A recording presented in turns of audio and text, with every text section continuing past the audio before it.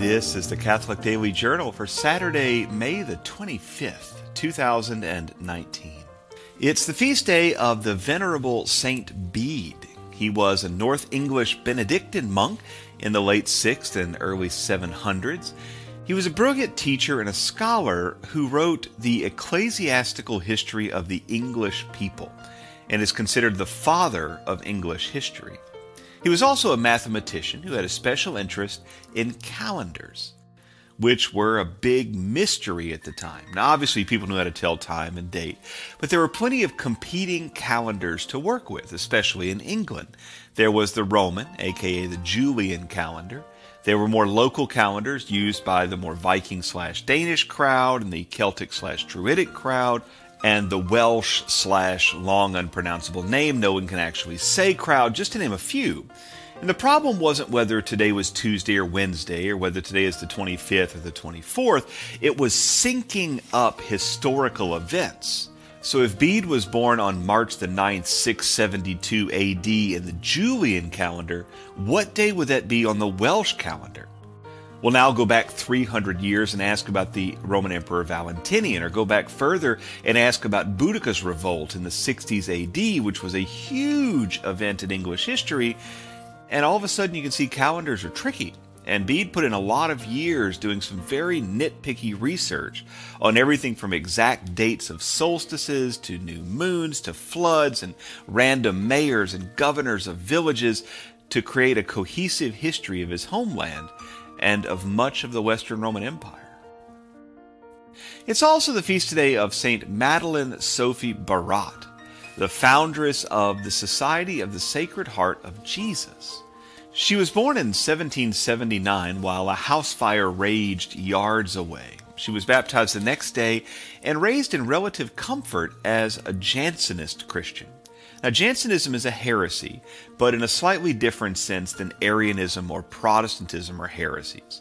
Jansenism is marked by excess rigorousness. Theologically, it's a misunderstanding of God's mercy and the authority of the church to teach. Practically, though, all of France was basically Jansenist for a few centuries. Just as much of Western Europe and American Catholicism today are textbook examples of the modernist heresy. Madeleine Sophie was influenced by Jansenism, but her order was fiercely orthodox, and the Sacred Heart is an image of divine mercy.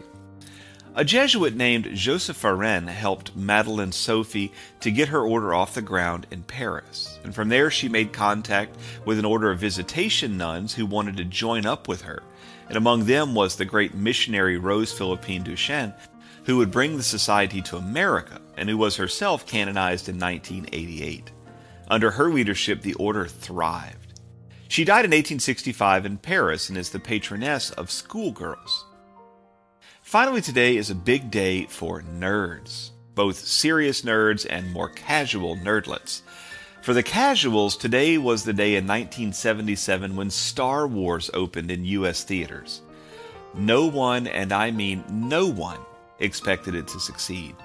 And yet, after 12 films, with number 13 on the way and about 100 billion toys, Star Wars has earned a place in nerddom.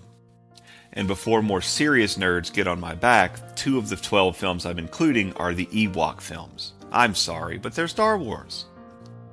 More intense nerds celebrate today as Towel Day in honor of Douglas Adams, who wrote The Hitchhiker's Guide to the Galaxy.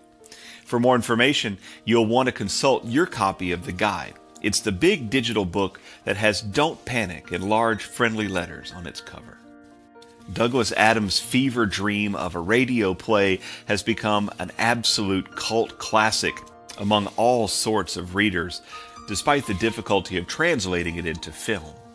Towel Day references the beginning of the book in which towels are recognized as one of the most incredibly useful items one can possibly have at any point, especially when traveling intergalactically.